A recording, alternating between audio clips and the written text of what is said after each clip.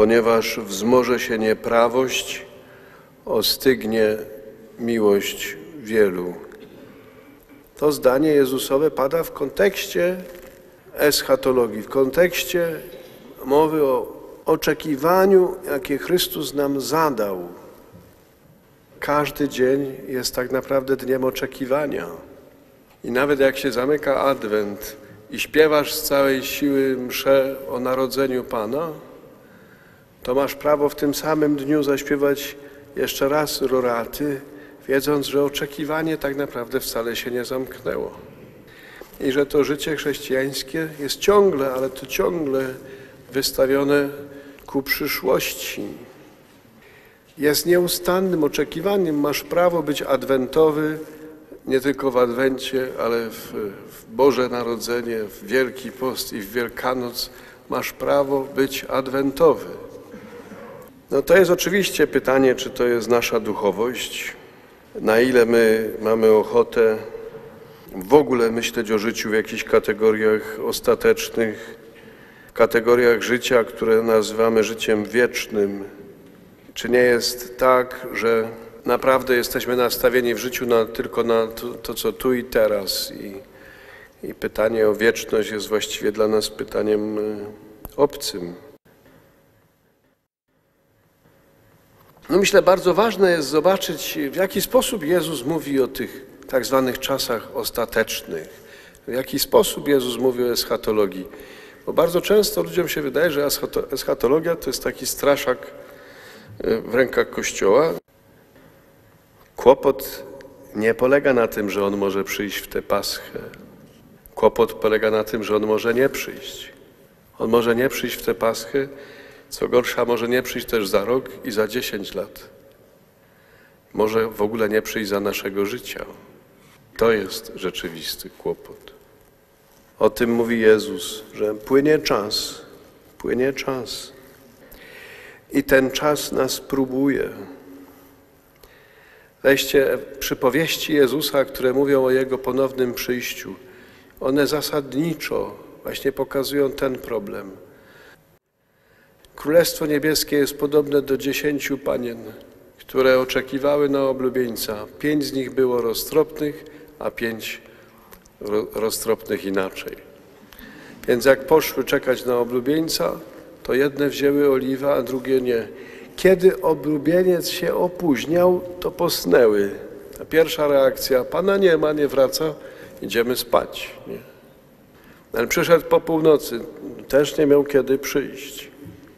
I te pięć jest szczęśliwych, bo mają oliwę, a te pięć już im brakło. Jest przypowieść, kiedy Jezus mówi, któż jest tym sługą, którego Pan ustanowił nad swoją rodziną. Wiecie, to jest, to jest takie słowo, to jest do nas, nie? Kto jest tym moim sługą, którego Pan ustanowił nad swoją rodziną? Wy jesteście rodziną Pana. My jesteśmy sługami rodziny Pana. Kto jest tym sługą? Ustanowionym, żeby wydzielał tej rodzinie Pana żywność w odpowiednim czasie. Ale jeśli ten sługa sobie powie co? Mój Pan się opóźnia i zacznie jeść i pić i znęcać się nad współsługami, no, to wtedy przyjdzie Pan o godzinie, której On się nie spodziewa. Ale zaskoczenie nie bierze się stąd, nie, że przyszedł nagle, tylko zaskoczenie jest, że przychodzi, ale po czasie, w którym się opóźniał, opóźniał, opóźniał. To jest kłopot tego sługi, że Pan nie wraca. I płynie czas, płynie czas. I Jezus mówi w tym czasie rośnie nieprawość. Co więcej, w tym słowie, któreśmy słyszeli, nie tylko rośnie nieprawość, tylko pojawiają się fałszywi prorocy. Po co? Po to, żeby bronić tę nieprawość, żeby ją uzasadnić, żeby wytłumaczyć. I ponieważ wzrasta nieprawość i jest tłumaczona, i jest objaśniana, i jest oswajana, właśnie tak ma, tak ma być, to kłopot zaczyna się z uczniami Jezusowymi, Jak, Jezus mówił wtedy z, z wielkiego prorockiego natchnienia, nie, kiedy mówi, że Jego uczniowie zaczną tracić wiarę, że ich wiara będzie słabnąć i będą, zaczną siebie nawzajem nienawidzieć. Uczniowie Pana. To nie jest o świecie, tak? Świat nas będzie prześladował, ale uczniowie, którzy tracą wiarę, zaczynają siebie nawzajem nienawidzić. I wreszcie pada to, to przejmujące zdanie, że ponieważ ta nieprawość wzrośnie, to miłość wielu ostygnie.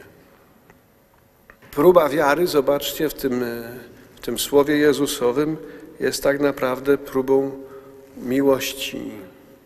I jeśli my się chcemy zapytać siebie, na ile potrzebujemy nawrócenia, to Franciszek mówi za Jezusem, zobaczcie, czy wam nie wystygło serce. Zobaczcie, czy nie macie wystudzonego serca, bo wiara jest sprawą serca, bo wiara jest sprawą miłości.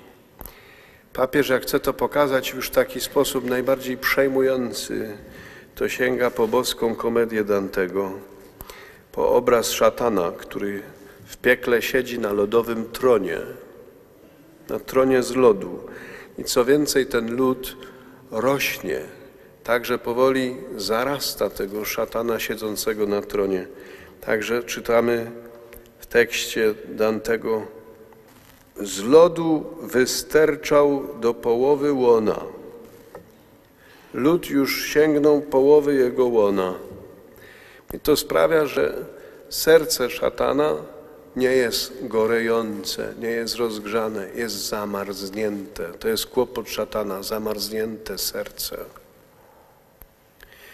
To nie jest kłopot z głową, to nie jest kłopot z intelektem, to nie jest kłopot z teoretyczną wiedzą.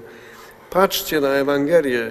Kto pierwszy w Ewangelii mówi, kim jest Jezus? Poprawnie. Złe duchy. Złe duchy. W Kafarnaum, Jezus przychodzi do Kafarnaum. W Kafarnaum w synagodze jest opętany człowiek. Szatan przez niego krzyczy: Czego chcesz od nas? Przyszedłeś nas zgubić. Wiem, kim jesteś, święty Boży. Wiem, kim jesteś. Nikt tego nie powiedział o Jezusie, święty Boży. Nikt tego nie powiedział do tej pory. To jest, to jest pierwszy, kto mówi, kim jest Jezus. Mówi prawdę, a Jezus mówi milcz. Jezus mówi milcz. To nie chodzi o to, że szatan nie wie, kim jest Jezus.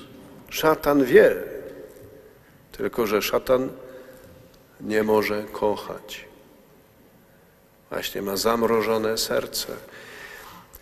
Niewiara jest sprawą serca, nie jest tylko sprawą intelektu. Słuchajcie taki tekst, drugi list do Tesaloniczan, drugi rozdział, dziesiąty werset.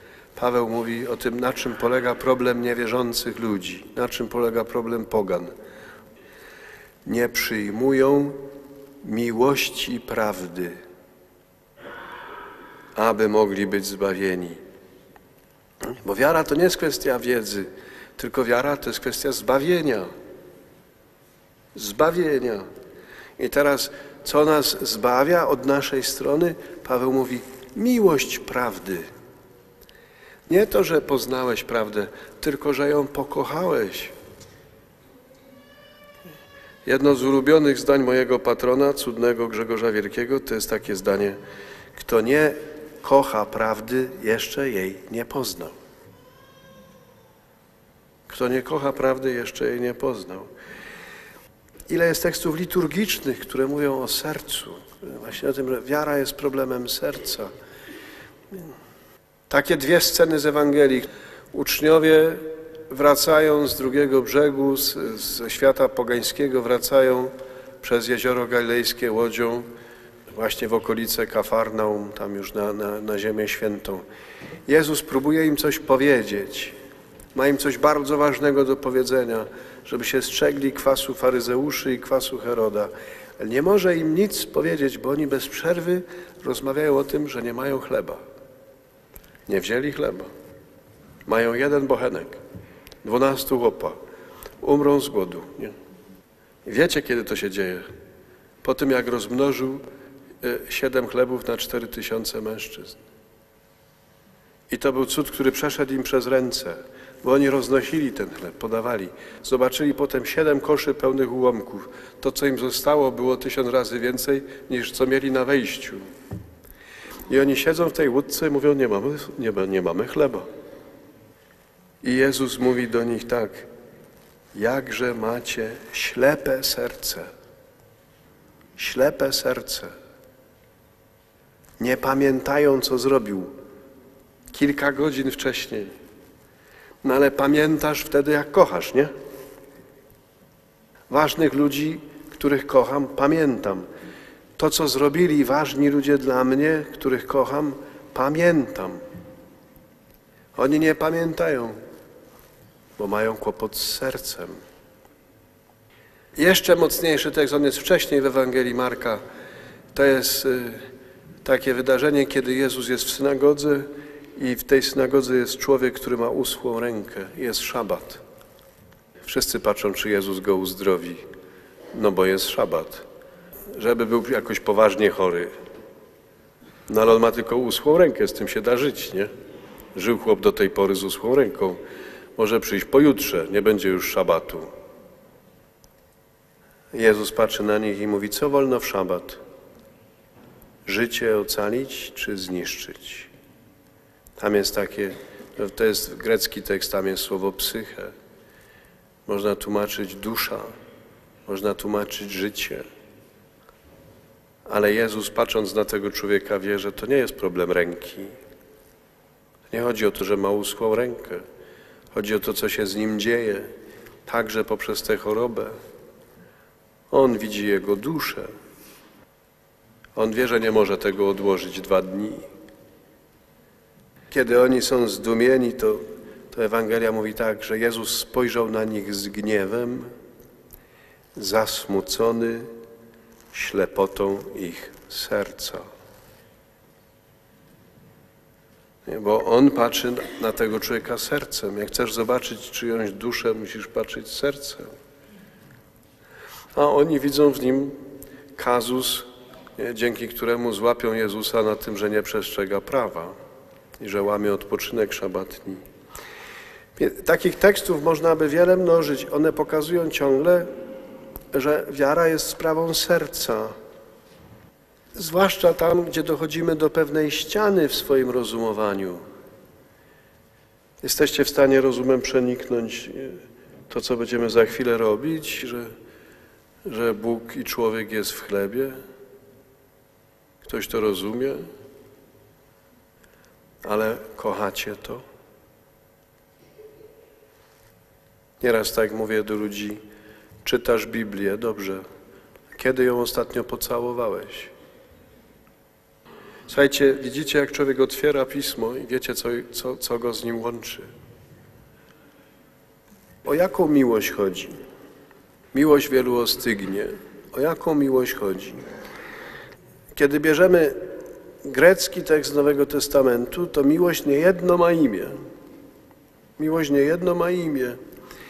Wśród wielu imion miłości, jakie są w greckim tekście Pisma Świętego, w Nowym Testamencie jest to absolutnie przeważająca ilość te, występowania tego słowa. Tym słowem istotnym na określenie miłości jest słowo agape. Agape. Oddajemy je łacińskim caritas, często używanym. Na czym polega miłość agape? Toż tutaj jest absolutnym y, mistrzem w tłumaczeniu papież Benedykt XVI. Jak ktoś jeszcze nie czytał encykliki Deus Caritas Est, to proszę przeczytać pod grzechem ciężkim. To jest jeden z najpiękniejszych tekstów o miłości, jakie napisano w dziejach XX wieku Kościoła. I Benedykt mówi tak, komentuje fragment Księgi Rodzaju o, o drabinie, która się śniła Jakubowi. Mówi, to jest sen każdego człowieka. Nie wiem, czy wam się już śniła drabina Jakubowa. Ale to jest sen człowieka, który marzy o tym, żeby trafić w takie miejsce, gdzie ziemia łączy się z niebem. Bo to się śniło Jakubowi. Drabina, która sięgała nieba. i widział aniołów, którzy stępują i wstępują po tej drabinie. No więc nie wiem, jak tam macie ze snami, ale Benedykt tłumaczy ten obraz. Tłumaczeń w dziejach Kościoła było wiele, ale Benedykt mówi, ta drabina to jest doświadczenie miłości. Ludzkie doświadczenie miłości. Bo w naszym doświadczeniu miłości jest przeżycie miłości, które można by nazwać wstępujące. To jest taka miłość, która w nas jest i którą też poszukujemy tego, co wyższe. Ale jest w nas taka miłość, którą mamy w sobie z natury. Właściwie nikt nas jej nie uczy. Jak jej nie ma, to mówimy, coś się nienaturalnego dzieje. Na przykład dziadków nikt nie kocha, nie uczy, jak się kocha wnuków. To w ogóle się dzieje samo. I w drugą stronę działa jeszcze mocniej. Znaczy wnuków też nikt nie uczy, jak się kocha dziadków. A wnuki na widok dziadków tracą głowę. Nie? Tego nikt nie uczy człowieka. Nikt nie uczy człowieka tej miłości, która się nazywa eros, amor. Zobaczył ją i pokochał, a ona też zadziałało. Jest miłość wstępująca, ale mówi Benedykt, jest też w doświadczeniu ludzkim miłości miłość wstępująca. Musisz ją otrzymać od Boga. Jak się na nią nie otworzysz, kiedy przychodzi od Boga, nigdy jej w sobie nie wypracujesz. Możesz na rzęsach stawać. Nie wypracujesz. Nie. Miłości, która jest miłością do nieprzyjaciela. Miłości, która jest zdolna przebaczyć 77 razy dziennie albo 70 razy 7 dziennie. To jest miłość, którą możesz przyjąć, ona do ciebie wstępuje. Doświadczasz tego, że jesteś kochany. I to jest miłość, która się nazywa agape. I słuchajcie, w tym tekście Jezusowym, że ponieważ wzrośnie nieprawość, miłość wielu ostygnie czy oziębnie, tam jest słowo agape. To nie chodzi tylko o to, że przestałeś kochać, tylko chodzi o to, że ci zabrano doświadczenie bycia ukochanym. Że ta nieprawość, która wzrosła i ta w cudzysłowie katecheza, antykatecheza fałszywych proroków wmówiła ci, że Bóg cię nie kocha, że nie ma w ogóle takiej rzeczywistości jak miłość wstępująca ku tobie od Boga. Nie ma w tobie tego. Słuchajcie, dlatego czasami warto sięgnąć po grecki tekst, żeby przeczytać o co chodzi w Ewangeliach czy w pismach Nowego Testamentu. Na przykład taki wstrząsający tekst, na pewno go pamiętacie, z Apokalipsy, tam gdzie Jezus mówi do siedmiu kościołów i mówi do kościoła z Efezu. Mówi tak, ty masz wytrwałość, ty masz cierpliwość, ty żeś wiele wycierpiał dla mojego imienia ale mam przeciwko Tobie jedno, że odpadłeś od pierwszej miłości. To naprawdę to nie jest tak, że Pan Jezus ochrzania Efezjan, przestaliście mnie kochać. Tylko mówi, zapomnieliście, że ja was kocham. To jest tekst Jana, napisany przez Jana, ucznia, który jak chciał siebie opisać, to mówił, uczeń, którego Jezus kochał. Jan jest uczniem miłości, bo jest uczniem, którego Jezus kochał.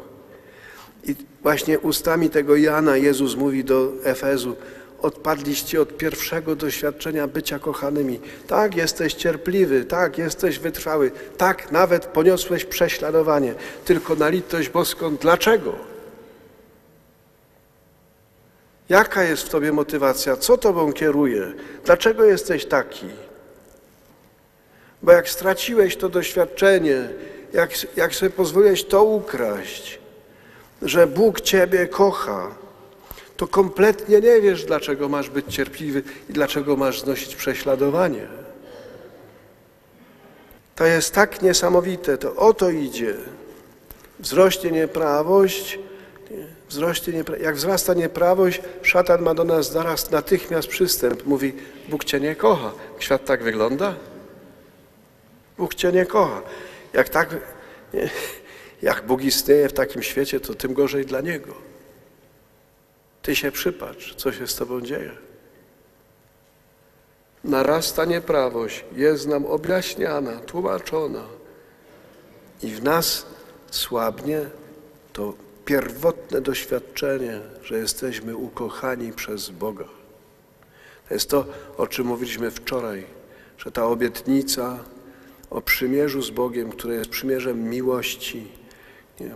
przymierzem, które owocuje w nas tak, że, że, że, że, że prawo Boga przenika nasze myślenie, że jest wypisane nam na sercu. To się stało, to się stało w Jezusie Chrystusie. Nie? To jest nasze doświadczenie wiary, pierwotne.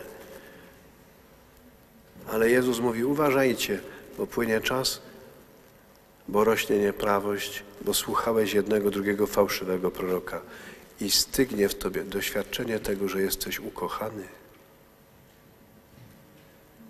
To są właśnie ci fałszywi prorocy.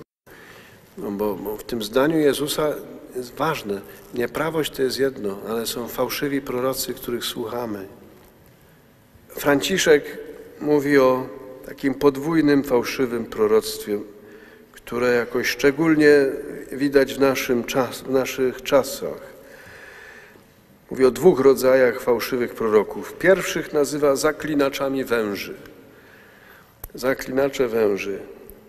Nie, to są tacy fałszywi prorocy, którzy nas potrafią uwieść, potrafią nam, nam, nas zmanipulować, tak że zachowujemy się kompletnie inaczej niż na co dzień by nam, byłoby dla nas oczywiste. No, wąż, który tańczy, na pewno nie zachowuje się po swojemu, zwłaszcza jak jest kobrą, ale jest uwiedzony i, i w tym uwiedzeniu jest jakoś okradziony z samego siebie. Franciszek mówi tak, mamy dookoła siebie takich fałszywych proroków, którzy tam przygrywają na fujarkach i my się zachowujemy w sposób zupełnie nieludzki. On mówi o tym zwiedzeniu konkretnie. To jest, y, mówi o dwóch takich iluzjach. Pierwsza to jest iluzja pieniądza. Iluzja pieniądza.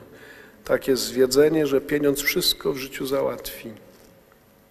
Nie, nie wszystko. I druga iluzja, która jest dzisiaj super powszechna, to jest iluzja samowystarczalności. Nie po co wam sąsiedzi? Taka pokusa, stań na własnych nogach, poodcinaj wszystkie relacje, pozamykaj okna i bądź szczęśliwy. Jeszcze się poodgradzaj, postaw sobie wysoki mur, jeszcze, wiecie, duża fosa i podciąg most zwodzony. Takie złudzenie, że szczęście polega na niezależności. Jestem niezależny, znaczy jestem szczęśliwy.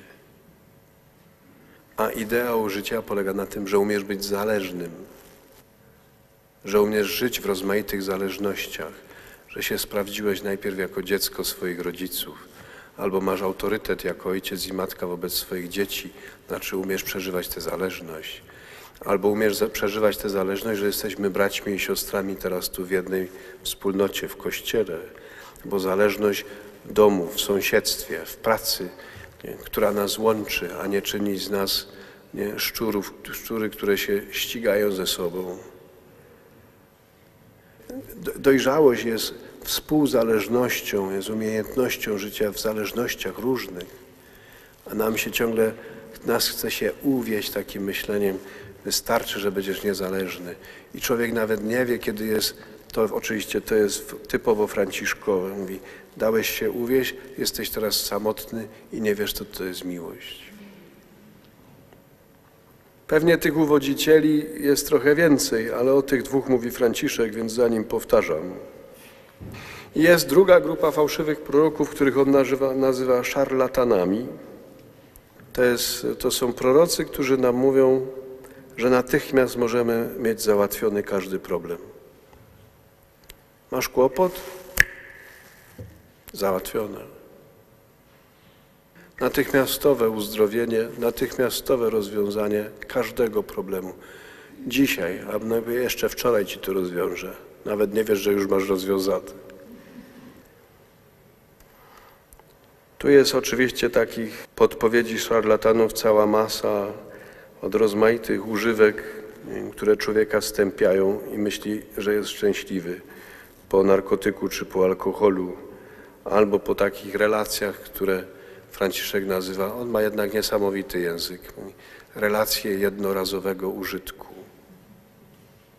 Relacje jednorazowego użytku. Fajnie było. I nawet nie wiesz, co straciłeś. Jak się dałeś uwieść. Tak, kochani, wiem dobrze, że w przeciwieństwie do dnia wczorajszego, dzisiaj właściwie to była cały czas zła nowina. To znaczy, że jutro już będzie dobra i pojutrze jeszcze lepsza, ale my się musimy zmierzyć z tym słowem.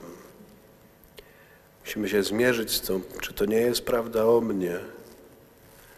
Kiedy czas płynie, to co ze mną się dzieje najbardziej dramatycznego, to właśnie stygnie we mnie serce, które zaczęło bić mocniej, kiedy, kiedy zrozumiało, że jest kochane. Że jest kochane.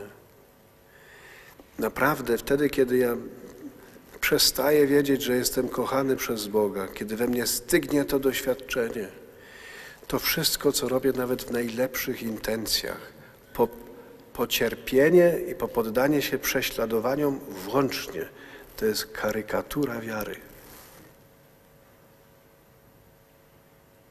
Dlatego to jest tak mocne słowo, które nas bardzo mocno prześwietla, bardzo mocno bada. Niezależnie od tego, jak ono jest mocne i jak ono jest y, może nawet bolesne, trudne, to pamiętajmy, że Jezus nie wypowiada żadnego słowa z innego motywu, jak tylko z tego, że nas kocha.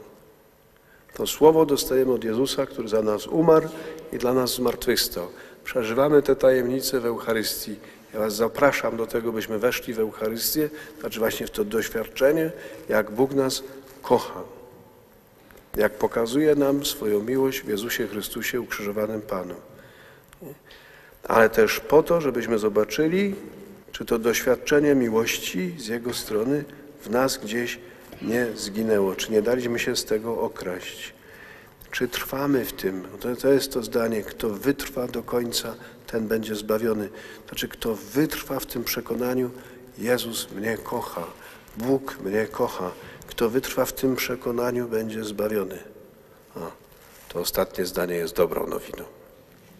Amen.